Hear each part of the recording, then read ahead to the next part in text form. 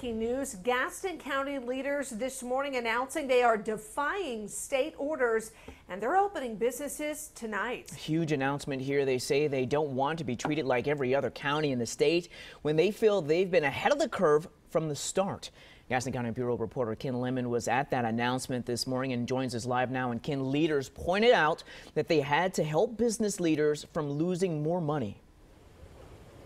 Yeah, and this is that order that it was signed. The chairman of the board of commissioners says that he thinks the governor's order would be disastrous and businesses in Gaston County must be able to reopen now. He says even though the governor's order lapses in one week, he thinks that some people may not have a business to return to. I was there as he signed that order from the board of commissioners allowing most businesses to bypass the governor's order and remain open or reopen that is at 5 this evening. Evening.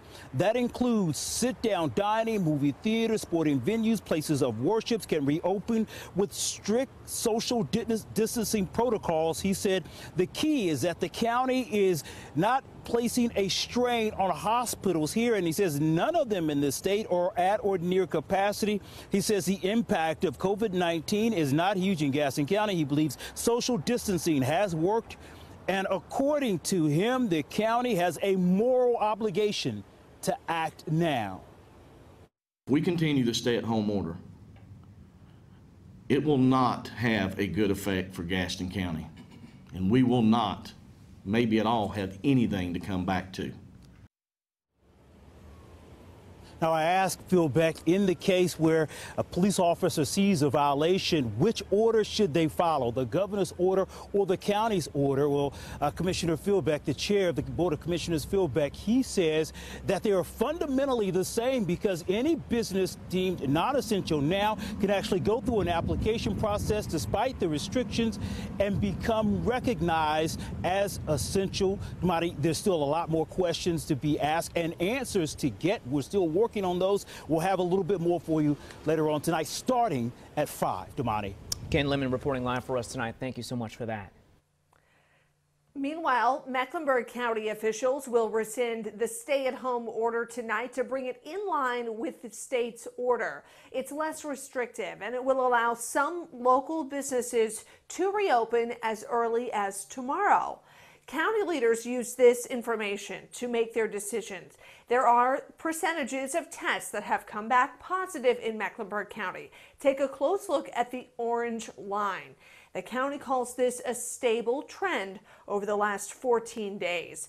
So, what does the change in Mecklenburg County's order really mean for police who are protecting the community? Our Mark Becker spoke to CMPD officials this morning. And, Mark, what was their reaction to all of this? Well, they said in a phrase, Damany, it's an ever changing situation, which you guys have really touched on already. So they are pretty much going to have to go with the flow here. Now, as you have said, the county's uh, restrictions were more severe than the state restrictions, which are now in place, and police are saying they're going to adjust accordingly. They told us this morning they have had fielded about 2,500 complaints about possible violations since that county stay at home order went into place and issued only about 18 or 19 citations. They have made eight arrests, and most of them came at a protest outside a women's clinic here several weeks ago. But this morning, Deputy Chief Jeff Estes said those arrests would probably not happen today under the state's guidelines. And here, as we stand today, um, outdoor protests are permitted and, uh, and will be um, allowed to be permitted under the, um, the auspices of the, the clarification letter. That, uh, of course, was not the case back um, when a few weeks ago when the arrests were made, uh, but we found ourselves in a, in a better position today. Chief Estes did add, though, that they're going to make sure that if there are protests, that the protesters maintain that social distancing, and certainly Damany police are not going to, going to tolerate or allow any violence at protests. Yeah, absolutely right there. Mark Becker reporting live for us tonight. Well, the changes aren't coming fast enough for some in our state. Police arrested four people at a reopen NC rally at the state capitol yesterday. Two of them, a woman from Catawba and another from Morganton, were both charged with violation of an executive order. Now, they were part of a group of about 300 people. The protesters are demanding Governor Cooper reopen the state for business, but state health officials say doing so too quickly could cost lives. There were also counter protesters dressed in scrubs and wearing medical masks. It angers me that we have to be out here. It angers me that people aren't, you know, wanting to take care of the vulnerable in our population. Well, police say overall the protests remain peaceful. Well, a group called Reopen Mac is planning a protest here in Charlotte on Friday afternoon. They plan to be in the heart of Uptown, but organizers have this message for people who want to take part. We have some breaking news to get to out of Southwest Charlotte. People are being told to stay indoors and to close their windows after a chemical spill. Charlotte Fire says the chemicals came out of a rail car on Fruehauf Drive. That's off Westinghouse Boulevard between South Tryon Street and Steel Creek Road. We don't know yet what chemicals spilled, but we do know that no one was hurt. Because of the windy conditions, firefighters want people to stay indoors so they don't inhale any toxic fumes. And also breaking in northwest Charlotte, take a look here. One person has died in a crash on I-485 near Mount Holly Road. Take a look at this scene here. Chopper 9 Sky Zoom flew over the crash, and if you look closely here, you can see a tractor trailer and two other drivers collided in the outer loop there. Now, right now, we don't know yet which vehicle the victim was in. The left two lanes are closed right now as investigators try to figure out what caused this wreck. And the crash happened about two hours after this wreck, right in the same area where a truck flipped and spilled a load of pallets. Now take a look and you can see there's just the huge mess there. We're reaching out to find out if anyone was hurt in this, and we're also asking if this wreck and the cleanup contributed to the deadly crash. Well, a church near Hickory is being criticized for its message to Governor Cooper to reopen places of worship.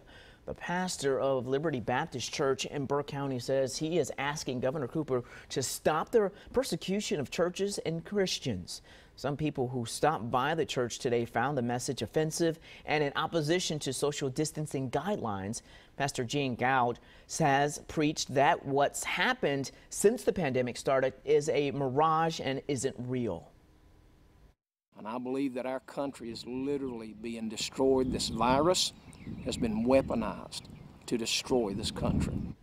Well, the church says it is following social distancing guidelines and is praying for the governor and president to reopen states and churches. North Carolina is reporting 380 new cases statewide. This state is just shy of the 10,000 mark. More than 118,000 have been tested. 354 people have died. In South Carolina, more than 53,000 people have been tested, and of that, 5,700 tested positive. 192 people died.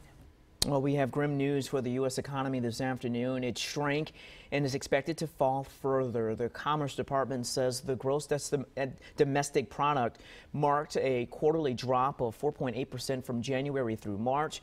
The GDP is the total output of goods and services. Now, that's the first drop in six years and the sharpest since the Great Recession. Now, you have to keep in mind we didn't see a lot of the major pandemic impacts start until March.